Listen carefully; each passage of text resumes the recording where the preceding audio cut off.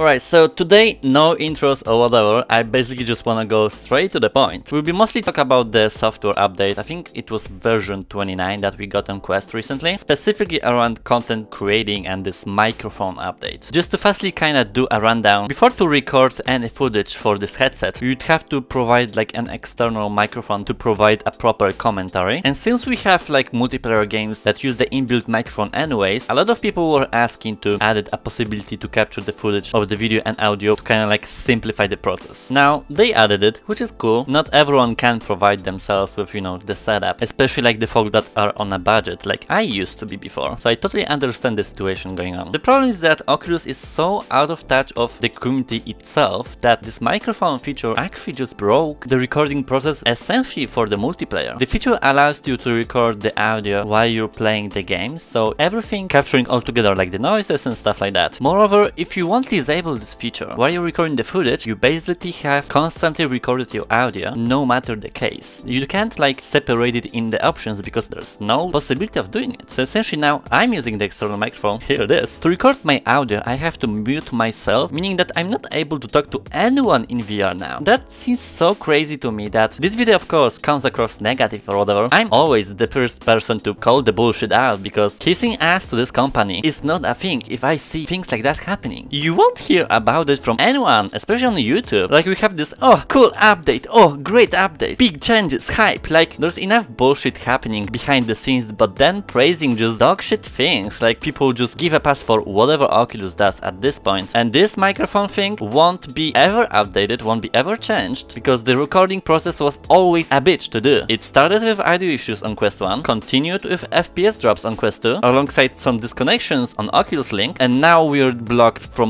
multiplayer simply because of not knowing your actual software and crapping all over the audio recordings for now. At this point I'm getting tired, like I've not encountered so many problems with a software before and it's just getting exhausting because I'm trying to make up for lackluster software that essentially is one of the hardest things to do like content creation wise. Like Quest is literally a garbage headset to record in. A lot of people if they are saying otherwise, it's a straight up lie. I understand VR is like a newborn technology, but not being in touch with the community and listening actually to the feedback makes no sense to me. Like this update like provides light mode or even more useless features that no one cares about. Maybe like casual consumers, but the recording community is getting screwed over and over again. Don't get me wrong, we're getting cool features. And of course, Oculus is like pushing the VR industry in the right-ish direction, but I'm like at this point honestly annoyed, just annoyed. Long story short, this update is trash and the future ones will continue to be if Oculus won't change their politics. I'm trying to provide like high quality content and I believe I am one of the only ones quest specific to actually care about the footage and just the whole synchronizations and quality. I don't care about hype, I don't care just the reasons of why it is how it is. I just want to peacefully make videos and that's it. Like that's my philosophy on my channel. But anyways, I recorded a footage using this feature and just knowing this information that I gave you. Pay attention to all the desynchronizations like the situation when you add the audio from the headset inside the footage, how it revolves like for someone that would not have external mic at all. Even if you watch my mouth like in the external camera, it's not synchronized at all because most of the time the game is desynchronized. So automatically then your voice. And that's just like a chain reaction. Not having separate sources of video, audio, anything will not justify using this feature at all. But yeah, sorry for the quality of this video that we'll see. It really reminded me how I used to do videos. If we were talking about just the quality of it, so might be a bit nostalgic for me, but it was triggering as well. So good luck with that.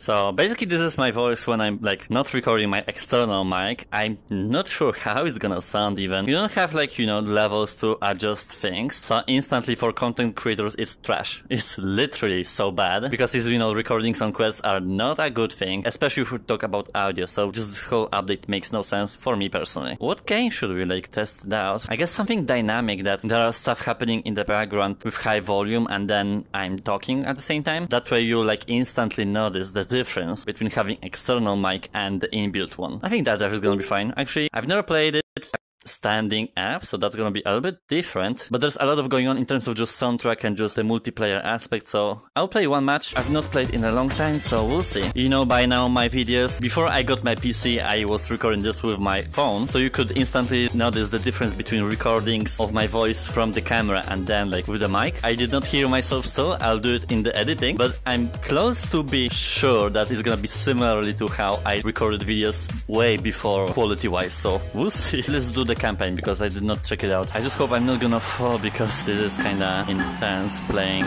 this while up.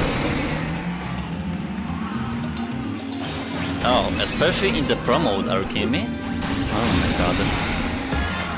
Oh, my locomotion skills for, for this day and age, how it performs. So I don't know how you can hear me at all, but normally Dash Dash is a very loud game. So I'm assuming I'm just gonna see the result at the end, but we'll see. I still have to focus on the gameplay. No! Bravo Kamatsu.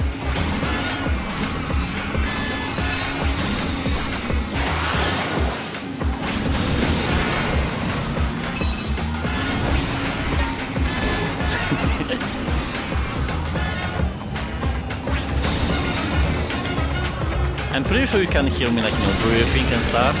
Not many people could realize, but there's a lot of going on when you don't mute certain parts. Like, editing seems easy on Quest, but it is not. Like, you have headset on your head, so the audio, the spatial, and just anything that's going on is easily edited out but not having just one source of the audio. That's just not possible.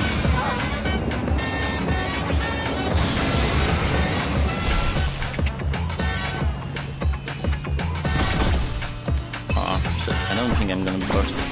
No, I'm gonna, okay. I'm a pro, I forgot. Whatever.